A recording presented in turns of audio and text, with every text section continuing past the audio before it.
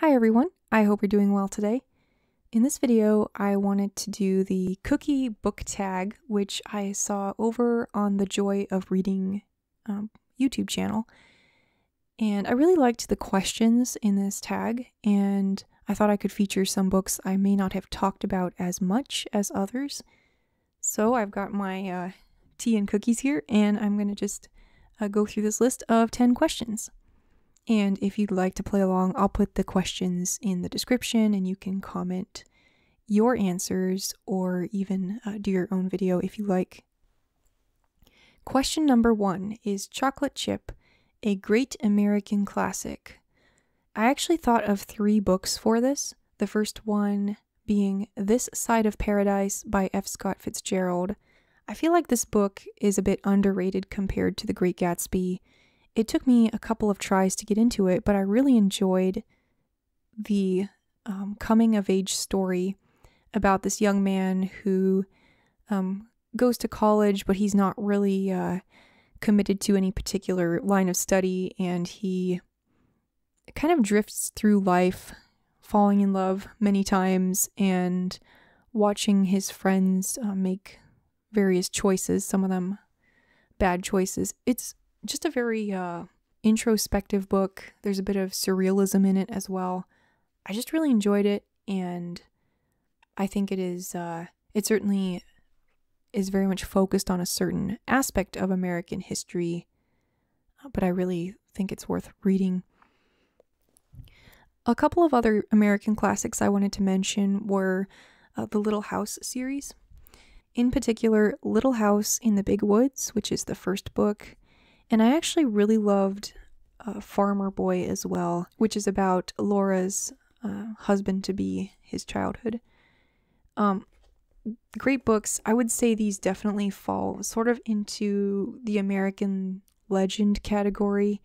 Obviously, the history is, you know, told through the eyes of a child and it's very simplified.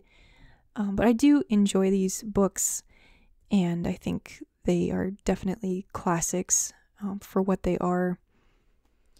And then, of course, I would be remiss if I didn't mention Moby Dick by Herman Melville. This was another book that took me two tries to read. I think it's an incredible allegory and illustration of the world in miniature. And in miniature, in this case, means on this ship, which is ruled by this autocratic uh, Captain Ahab. And what's really so fascinating is you have a lot of contrast in this book between that more primal, uh, hierarchical type of social structure and hero worship and all of these things that the American uh, philosophy is supposed to be against, right? So that's just a fraction of what makes this book great, but I do think it is a worthy American classic. Okay, I promise I didn't pick like three books for all of these answers, but I just couldn't pick one American classic. I think there's just so many great ones. Okay, question number two is Sugar, as in sugar cookie, a work that gives you a warm and fuzzy feeling. For this book, I really had to go back to the Chronicles of Narnia series, and in particular, The Silver Chair. Uh, this is a pretty creepy cover, but this is the one I grew up with. Uh, the Silver Chair is by far my favorite book in the series, and I know it's it's one of those that people may not like as much as some of the other books featuring the Pevensie siblings. But I really enjoyed the friendship between Eustace and Jill in the Silver Chair and the uh, funny but loyal friend Puddleglum, whom they meet, and uh, their more traditional hero's quest from uh, the the overworld to the underworld. I just think it's a great book. I get great warm fuzzy feelings when I read it, and I need to reread it soon. So, yeah, the Silver Chair. Uh, question number three is Oatmeal, a work that makes you think of home. And again, I thought of a couple of different books for this, but I'll just mention one, and that is The Black Stallion by Walter Farley.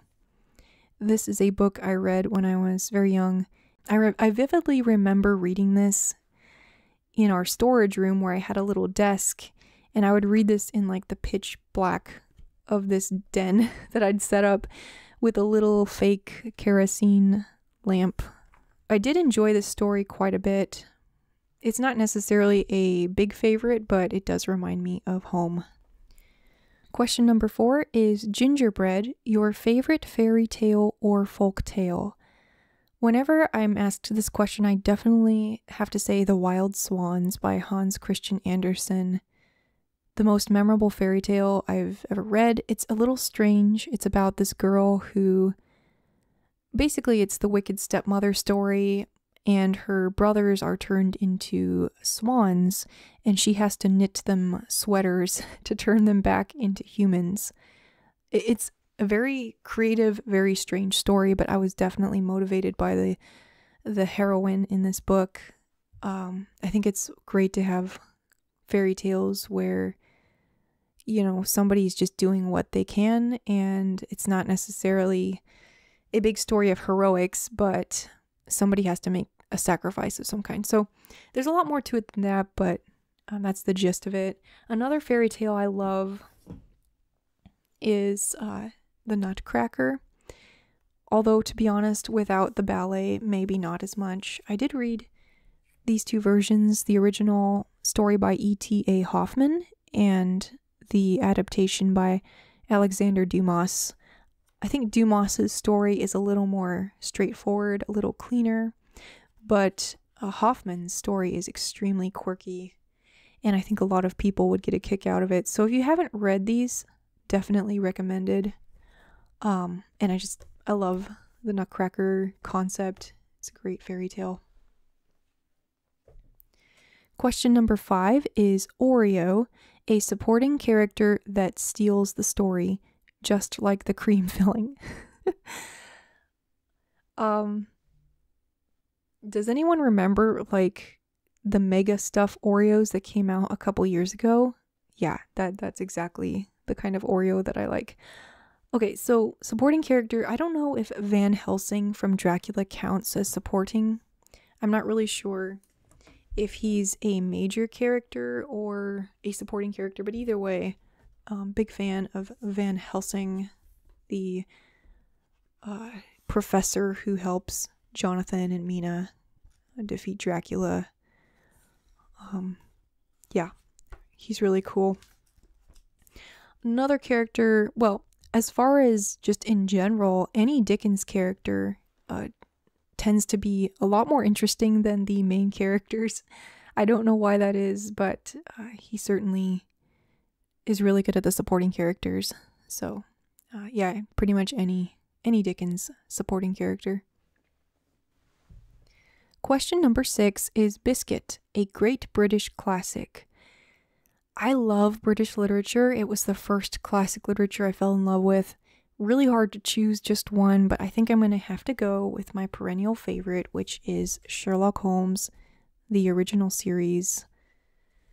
Uh, I think the Sherlock Holmes series is absolutely remarkable because not only does it span, you know, 64 stories, four of which are novels, but it really spans the whole gamut of Victorian society, um, different settings, different dilemmas, a lot of social issues.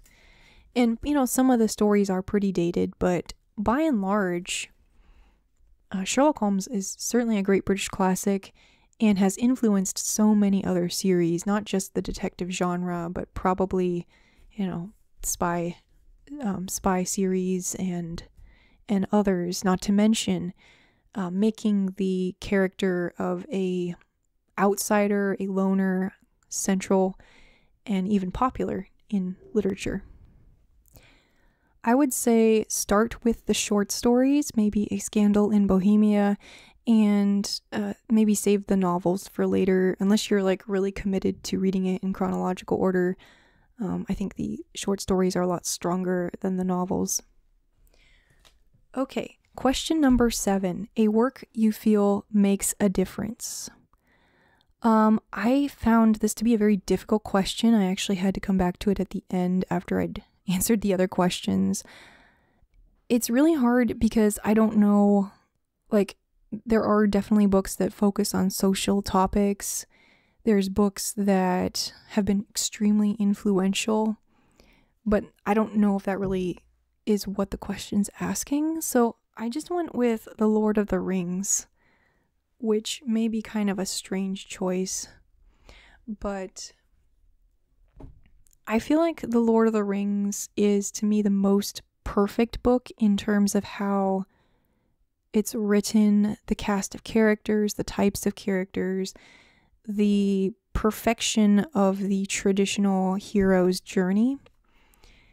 And there's a lot of other things in here that I think have been very influential. Obviously, the fantasy genre has pretty much been uh, heavily inspired by Tolkien it's resurrected a lot of uh, ancient or interest in those more eh, ancient legends. There's a lot of Catholic symbolism in here. I'm not Catholic, but I do find that interesting. And I think it's a beautiful allegory of the era Tolkien lived in. I know that he did not intentionally write an allegory, but I think this book does mirror the conflict and uh, tension also the combination of those old epics with more modern moral sensibilities and, you know, gray characters like Boromir, Gollum, and uh, others. So, yeah, I think this book has made a huge difference. It's made a big difference in my life. I have found a lot of community through this book, and I've also I've also come to love poetry through The Lord of the Rings. So, yeah, that's a great book. Um, let's see. Question number eight is Shortbread, a writer that is addicting. So, um, I think my instant answer for this was Agatha Christie. I read her books when I was about 12, and her books are definitely addicting. I mean, I have the only book I have by her actually is The 13 Problems, which is a collection of Miss Marple short stories. Um, but these are great short stories. Most of the novels are really good. Very much uh, genre fiction, very repetitive, predictable, stereotypical, even. Um, but definitely addicting. Like she knew how to really work that formula and get you to keep reading and reading and reading. I've read most of her books, probably two thirds or more. So, yeah, Agatha Christie. And then the other author I would say is addicting for me personally is Franz Kafka. Uh, I'm not exactly sure why. I just find his universe, so to speak, very addicting, very interesting, relatable. I've read all of his fiction at this point, so Okay, question number nine Black and White, a work you feel you are not sure if you like or dislike. I really do tend to have pretty definite opinions about the books I read, so this was very hard for me to think of one. I would have to say Picnic at Hanging Rock by Joan Lindsay. I would say overall I like this book, but it had a very dark and ambiguous ending, which I didn't like. I mean, overall, I would say I like it, but if I would have to pick one book that kind of falls in that iffy area for me, it's probably this book. I'm going to read it again at some point, and I think it's a great mystery if you're into that. Question number 10 is Dog Treat, your favorite literary animal. Uh, so with this one, I'm going to have to go with the griffin from Alice in Wonderland. Uh, he's kind of a gruff character, but he's kind of charming too. And uh, I just think he's one of the underrated animals from Alice in Wonderland. All right, so there's one last question, which is what is your favorite cookie or biscuit? And I don't really have a favorite cookie. I like all cookies pretty much.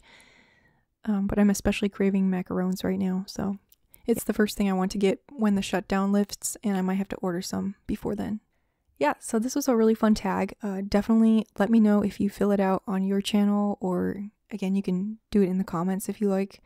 Um, thanks for watching. Please like the video if you enjoyed it, and I'll see you next time.